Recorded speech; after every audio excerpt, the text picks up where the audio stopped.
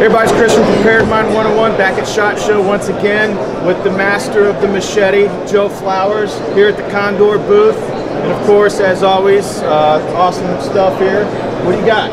Well, this year we got some stuff that's ultra light, quite a bit lighter than last year. This is a new Duku Parang. We have it in two sizes. So what we tried to do was mimic the Malaysian style Parang's lightweight capabilities, but still keep a full tang. And so that's what we got here. We have a 10 inch and we have a 16 inch machete that's coming out. Let's get the point of view cam here. Point of view cam. Look at that. Look at that new technology stuff. Right, high tech. He's actually checking his email through these Google glasses. So, other new things we have this year. This is a tarpon knife. You know, I don't know about you, but when I go fishing, I've never done it without some kind of bottle open, some kind of bottle to be open, be it like, you know, root beer or, or some other beverage. And this one's small enough to fit in a small tackle box, yet still has a shackle tool on it. Something new this year that a lot of people seem to be asking for. Everybody likes to customize their condors, right? Oh, yeah. Well, let's just go ahead and give them the blade so that they're able to customize it themselves. So they're going to be selling blanks. Blanks. So you guys can do your own handles. Fill in the blank. Waka waka. No complaining. So we have the Bush Lore, the Kephart in a satin finish, and the Woodlaw. Nice. And the Woodlaw is one of my favorites, and it's incredibly easy to put a handle on, even for me. that would. This one, I'm pretty proud of. You remember the Crotalus last year? Of course you do, Yes. because you've got the crap out of it. tons and tons of hits on YouTube. Check out his YouTube Crotalus video. Well, this is this year's new sexy knife, the Final Frontier. This is based on a lot of qualities that a lot of people in the outdoor industry and the survival world like. It's basically a lot like the Bush Lore, except more hardcore. It's got a point down the center line, full tang, hollow rivets, but it also has a pounding pommel on the back, reminiscent of some USMC fighting knives and some of the old case knives of old. And it is welded on the bottom. You can take that, you know, put up your drywall, whatever you need to do. Also, open up coconuts, you name it. You should be able to do a lot with this. Yeah, the, if you can't do it with this, you probably couldn't do it in the beginning. This is going to be a good fire knife, uh, feather sticks, uh, fire steel. You name it. And the cool part about this is if you want to, if you absolutely have to make a fire by, you know, striking a piece of flint or any other type of uh, or, or quartz, you use the back of the of the pommel instead of mucking up the back of your spine by hitting the back of the pommel, much in the same way you would the spine vertically. Kind of neat. Is it a leather sheath or? Uh, Yes, this is a new leather sheath this year, new leather sheath design. It's nice. Now,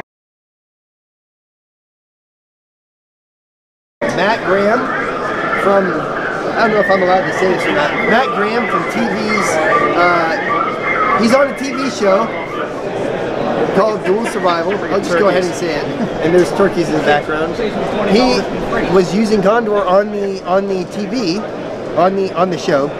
Matt Graham of Dual Survival was using a condor knife on the show. We contacted him up, found out what he liked about it, and decided, and decided to design a knife based on that. So basically, he had uh, he had one that he had ground down himself, right? Yep, absolutely.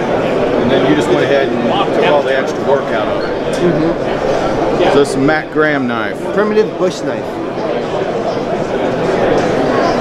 Made out of 420 high carbon. Good weight. 90 degree spine. Very nice. Yeah, and, and you'll find a lot of these knives. You know, anytime you get into knives and you get into um, seeing what a lot of the people who use them outdoors uh, like, you'll see a lot of the same same basis, a lot of the same foundation. So, for instance, this one has a point almost exactly down the center line. You know, so does, uh, for instance, the Ray Mears' um, uh, Shing uh, Woodlore knife. Uh, a lot of them have a lot of these different foundations that you'll see anywhere. You go find a uh, guy out in Africa and he's probably ground down his knife and have the same thing.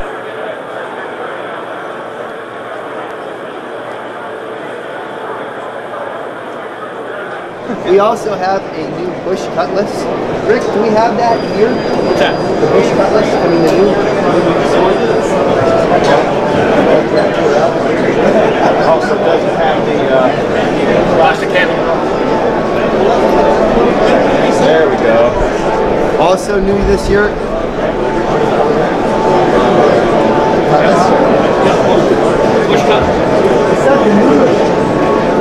So everybody that looked at the old Bush Cutlass and they didn't like the plastic sculpted handle, now they got a wood handle, metal guard, very lightweight.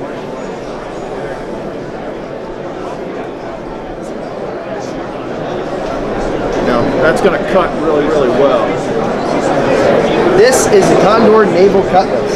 Um, we took a lot of the same stuff from the Bush Cutlass and made it more of an authentic style sword. So you have, of course, the guard on the top made out of metal and uh, preparing whatever else that you're going to be doing with this. But what's also important is saber fencers and other and other guys who know that type of martial art will appreciate that the point is still, like I said before, down the center line. You're not using it like a spoon, so you're still able to thrust with it. And of course, it has all the wonderful qualities that make it a great machete as well, not just a sword. Sir, This will be available in 2016. yeah, now actually this year, you'll notice we don't have a whole ton of SKUs out. We already have stock made.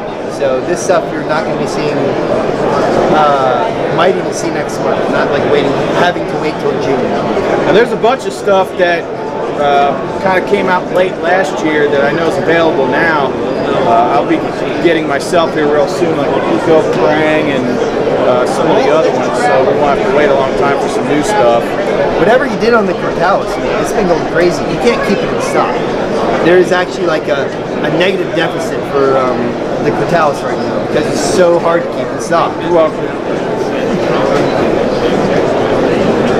Thank you. I'd say probably this one's my favorite out of the bunch. Yeah, that one's gonna do real well. You know I might have to strip the coating, but oh well.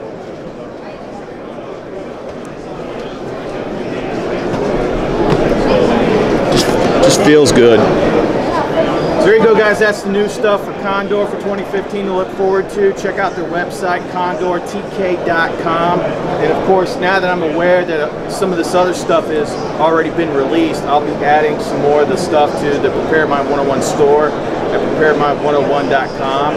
And be sure to check out uh, Joe's site, Bushcraft Global. What's the web address? Bushcraftglobal.com. bushcraftglobal.com. And uh, we're going to do another video on that, so be sure to check that out. Check it out on Facebook too, and Condor on Facebook as well. Go there, like it. All right, guys, we're back with some more SHOT Show 2015, so stay tuned.